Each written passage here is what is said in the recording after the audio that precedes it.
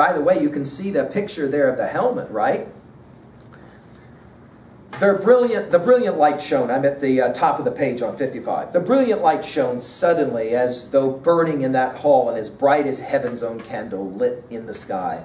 He looked at her home, then following along the wall, went walking, his hands tight on the sword, his heart still angry. He was hunting another dead monster and took his weapon with him for final revenge against Grendel's vicious attacks, his nightmare raids over and over, coming to Heorot when Hrothgar's men slept, killing them in their beds, eating some on the spot, 15 or more, and running to his loathsome moor with another such sickening meal waiting in his pouch. But Beowulf repaid him for those visits, found him lying dead in his corner, armless. Who has he found? So he's down in the mother's lair. Who's he looking for? Looking for Grendel. Where I, who, Grendel, Grendel did what? Pulled away, remember, and then went back to the lair without his arm and there died. And Beowulf is like, oh no, you don't. You don't get away so easy. And take a look at now what happens next. Exactly as that fierce fighter, line 560, had sent him out from Heorot, then struck off his head with a single swift blow. So what are we going to do here? We're going to cut off Grendel's head, right? This is this whole thing about trophies. Why do you put the head of something on a wall? It's a way to remember the battle, remember the conquest, right? The body jerked for the last time, then lay still.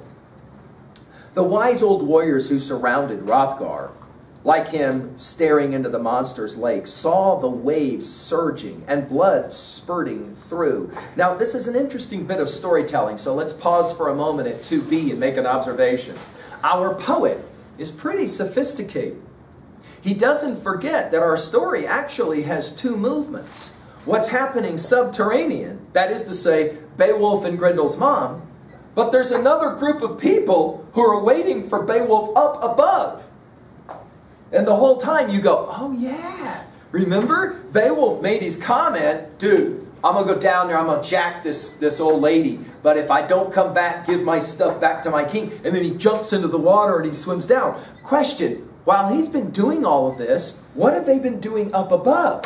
See? Now, of course, you're familiar in movies, and you can write down really quickly at 3A, if it comes to mind quickly, a movie where it does this, where they cut back and forth and you know it's happening simultaneously, but they cut back and forth, yes? So you've got the action happening, and then all of a sudden they cut away and they show you the other people, right? Who are kind of like, whoa, whoa, whoa, what's going on? The minute that he cuts off the head of Grendel, blood comes up in the water. What is the assumption? See, think about this. What is the assumption? The assumption is, of course, oh no, Beowulf's dead. Oh man, right? So the poet here is kind of playing a little game with us, and it's a fairly sophisticated bit of storytelling. Let's go ahead and keep going. I'm on page 55, line 566. They spoke about Beowulf, all the graybeards, whispering together and said that hope was gone, that the hero had lost fame in his life at once and would never return to the living, coming back as triumphant as he had left. Almost all agreed that Grendel's mighty mother, the she-wolf, had killed him. In other words.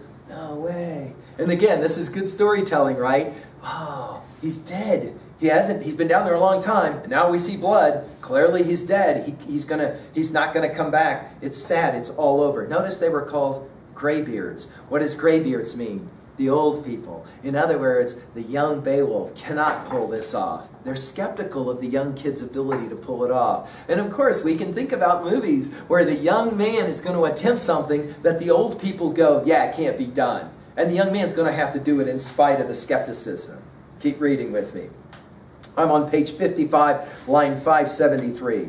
The sun slid over past noon, went further down. The Danes, uh-oh, look at this one. Read it with me. Line uh, 574. The Danes gave up, left the lake, and went home.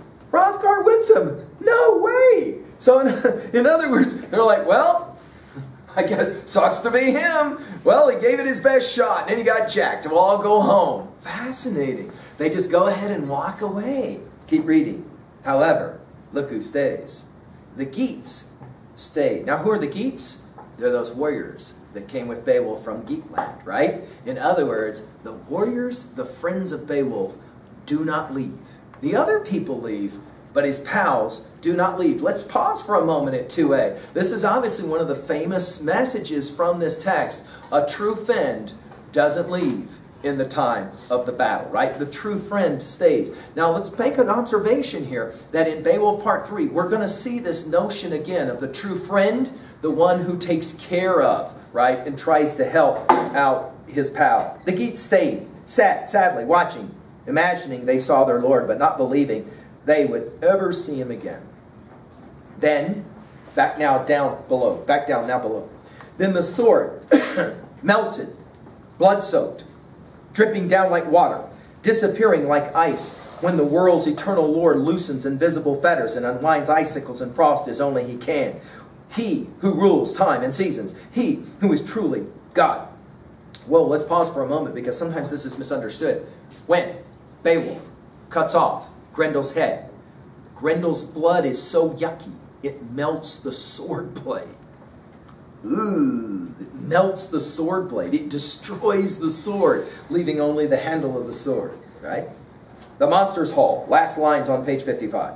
The Monster's Hall was full of rich treasures, but all that Beowulf took was Grendel's head and the hilt of the giant's jeweled sword. The rest of that ring-marked blade had dissolved in Grendel's steaming blood, boiling even after his death. Whoa. So let's pause for a moment and point out Beowulf, after killing Grendel's mother, only wants two things. All this treasure down there, but he only wants two things. What are those two things? One, Grendel's head. Two, he will take the hilt of that famous sword. Looking at that handle will tell you what kind of sword that must have been. The weapon is, of course, special for him. All right, let's finish up. And then the battle's only survivor swam up and away from those silent corpses. The water was calm and clean, the whole huge lake peaceful once the demons who lived in it were dead. So let's pause for a moment at level one and just make a quick observation. Notice you have here, then, the development of the storyline, right? So, in other words, everybody's gone except for Beowulf's pals, right?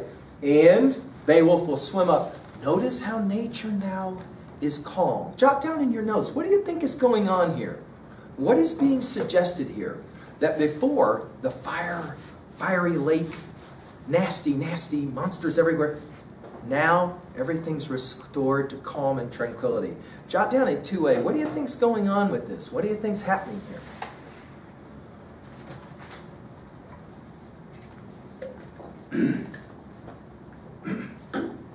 Lots of possible answers. One of them is, of course, that when Beowulf has taken care of business, nature is now restored calm again, right? Everything is working out. All right, let's finish out this passage now on page 56. then that noble protector of all seamen swam to land, rejoicing in the heavy burdens he was bringing with him. He and all his glorious band of Geats thanked God that their leader had come back unharmed. They left the lake together. The Geats carried Beowulf's helmet and his mail shirt. Behind them, the water slowly thickened as the monster's blood came seeping up. They walked quickly, happily across the roads all of them remembered, left the lake and the cliffs alongside it. Brave men staggering under the weight of Grendel's skull, too heavy for fewer than four of them to handle, two on each side of the spear jammed through it, yet proud of their ugly load and determined that the Danes seated in Heorot should see it. Let's pause for a moment. This is how strong Beowulf is. And this is how large Grendel, the monster, was. When Beowulf cuts off Grendel's head and swims with it to the surface of the lake, it takes four soldiers to carry the head. That's how large the head of this monster is. It says something, of course, about Beowulf again. He is a superhero, right? Superhero. Let's finish now. Soon, Fourteen Geats arrived at the hall, bold and warlike, and with Beowulf, their lord and leader, they walked on the mead hall green. Then the Geats' brave prince entered Heorot, covered with glory for the daring battles he had fought. He sought Hrothgar to salute him and show Grendel's head. He carried that terrible trophy by the hair, brought it straight to where the Danes sat drinking, the queen among them. It was a weird and wonderful sight, and the warriors stared. Now, let's just finish here really quickly with a couple of quick observations. Notice, After Beowulf does what he does, he wants to make sure to show the Danes, I did it. I told you I'd do it, I did it. He brings with him the head of Grendel as a trophy, and he says, See, I did it. Notice the word weird is used, right? Weird. Strange and amazement, right? Notice as well that Beowulf will want to prove I did the impossible. You thought I had failed, but I didn't fail. I was able to I was able to do it. Jump down to 3A really quickly. What is your favorite movie? Where at the end, for a few seconds at least, you're led to think that the hero has failed. And then all of a sudden, the hero shows up successfully. In other words, you go, oh, well, I guess he got jacked. And then all of a sudden, maybe he'll come out from the fire or she'll step out of a room or something. You're like, oh, no way. You made it. Oh, that's so awesome, right? This kind of storytelling takes us all the way back to the time of Beowulf. Let's finish our annotations now with some quick observations. At 2A, major messages and themes. Jot down at least one that works for you. Several possible uh, you know, ideas here. One, a true warrior will finish what he promises to finish. Two, real friends stay with their true friends, right? All the other Danes will leave, but not Beowulf's not Beowulf's warriors, those for those total of 14, right, who show back up, right? We could, of course, by extrapolation, say at 2a that great things only happen with lots of hard work, and we might say a little bit of luck. Beowulf had to have that sword hanging on a wall down there to be able to finally accomplish the goal, the mission, right? Let's talk really quickly at 2b. We've mentioned several for your annotations already, but let's jot down a couple of other ideas. Notice the amazing storytelling here. The Beowulf poet has a real sense of timing, has a real sense of perspective, is trying to give us some sense of suspense, using a bit of foreshadowing as he goes, right?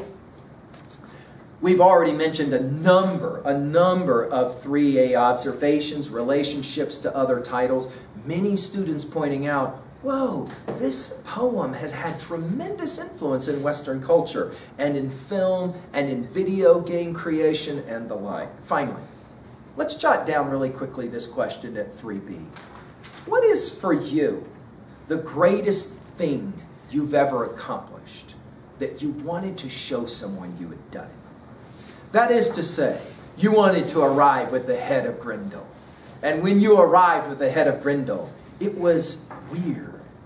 People were amazed. They were like, yeah, no, no, you did not do that. And you're like, did it, and I got evidence to show you I did it. Take that, if you will, right?